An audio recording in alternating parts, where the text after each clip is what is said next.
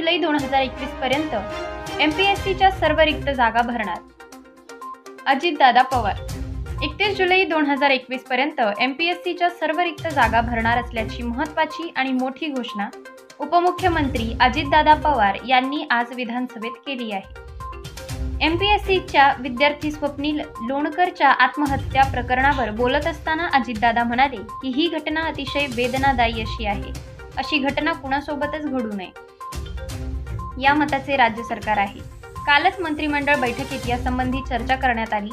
अशी वेळ कोणत्याही विद्यार्थ्यावर येऊ नये यासाठी राज्य सरकार प्रयत्न करेल. तसेच स्वप्नील लोणकरच्या कुटुंबाला आर्थिक मदत देण्यासंदर्भात राज्य सरकार सकारात्मक आहे. सरकार लोणकर कुटुंबियांच्या दुःखात सहभागी असल्याचे अजितदादा यांनी सांगितले. दरम्यान S C S C B C आरक्षणाला सुप्रीम कोर्टाने स्थगित दिली. त्यामुळे एम पी एस सीच्या सर्व भरती थांबवाव्या लागल्या होत्या. त्या अनुषंगाने मुख्य परीक्षा पास झालेल्या विद्यार्थ्यांच्या मुलाखतीही थांबवाव्या लागल्या अशी माहिती अजितदादा यांनी दिली. तसेच मधल्या काळात एम पी एस सी या स्वायत्त संस्थेने कोरोनाचे कारण देऊन काही जागांच्या परीक्षा अचानक रद्द केल्या होत्या. त्यात राज्य सरकारने हस्तक्षेप करून अशा प्रकारे परीक्षा रद्द करू नये असे सांगितले असल्याचे ते म्हणाले. स्वप्नीलच्या आत्महत्येचा विषय मंत्रिमंडळाने गांभीर्याने घेतला असून एकतीस जुलै दोन हजार एकवीस पर्यंत एम पी एस सीच्या सर्व रिक्त जागा भरणार आहोत. विद्यार्थ्यांच्या मनात जे नैराश्य आले आहे त्याबाबत राज्य सरकार गंभीरपणे विचार करत आहे. कोरोना काळात ज्याप्रमाणे वैद्यकीय क्षेत्रातील जागा भरल्या गेल्या तशाच एम पी एस सीमधील जागा देखील भरल्या जातील. मला राज्यातील तरुण तरुणींना सांगायचे आहे की राज्य सरकार भरतीसाठी आग्रही आहे. मात्र सुप्रीम कोर्टाचे निर्देश पाळून मार्ग काढायचे असतात. राज्य सरकार त्यातून मार्ग काढत आहे अशा शब्दात उपमुख्यमंत्री अजितदादा पवार यांनी राज्यातील विद्यार्थ्यांना आश्वस्त केले. ही बाब अक्षरशः वेदनादायी अशा प्रकारची बाब आहे. अशी घटना कुणाच्याच बाबतीमध्ये घडू नये या मताची शंभर टक्के सरकार आहे. अध्यक्ष महोदय काल कॅबिनेट झाली.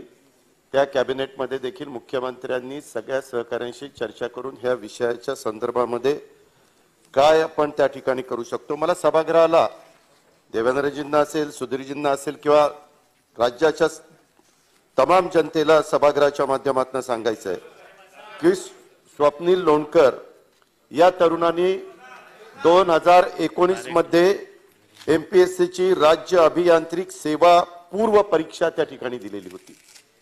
मुख्य परीक्षा चोवीस नोव्हेंबर दोन हजार एकोणीस रोजी झाली. या परीक्षेचा निकाल अठ्ठावीस जुलै दोन हजार वीस रोजी लागला.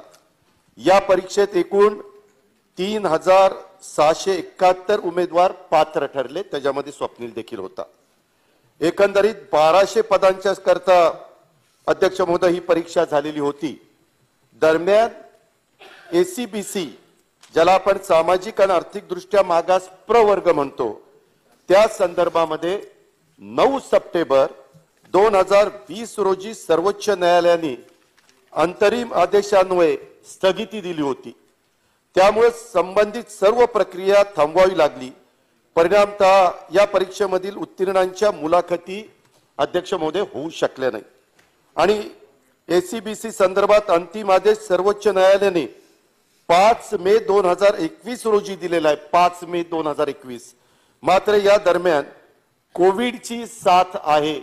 हे उभ्या महाराष्ट्राला माहिती आहे मधल्या काळामध्ये परीक्षा मधल्या काळामध्ये मधल्या काळात ज्यावेळेस परीक्षा झाल्या त्यावेळेस देवेंद्रजी आपण म्हणाला तसं ह्यांना स्वायत्ता दि- दिलेली आहे.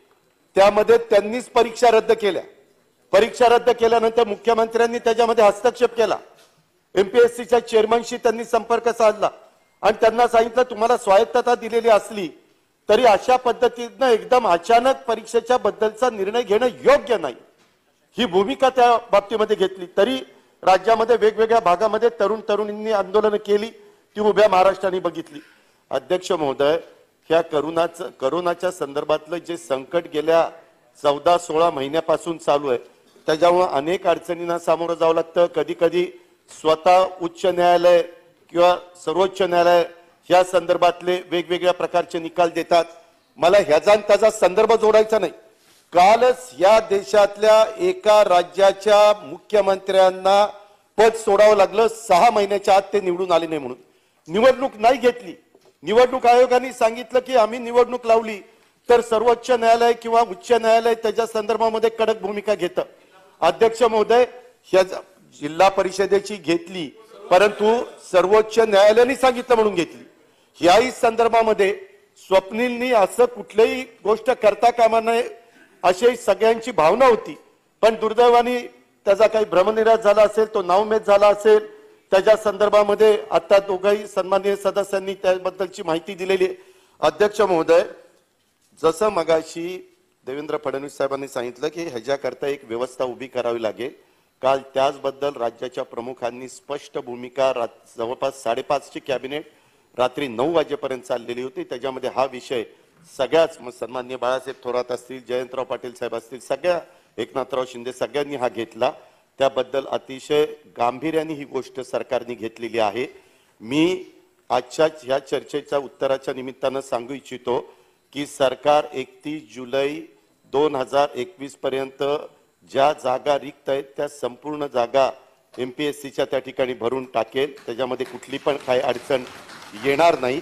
त्याचबरोबर ह्या जागा भरत असताना आता जो काही सीच्या संदर्भात उद्याच्याला खरं तर त्यांना स्वायत्ता दि- दिलेली असली तरी एका वेगळ्या पद्धतीनं एम पी एस सीच्या चेअरमनला बोलून त्याच्यातनं हे जे काही मुलांच्या मुलींच्या मनामध्ये एक नैराश्याची भावना निर्माण झालेली आहे ती दूर करण्याच्या करता आजच सभागृहाचं कामकाज संपल्यानंतर मुख्यमंत्र्यांनी मला जीएडीच्या प्रधान अतिरिक्त मुख्य सचिव आणि राज्यमंत्री असं काही आम्हा लोकांना बसायला सांगितलेलं आहे.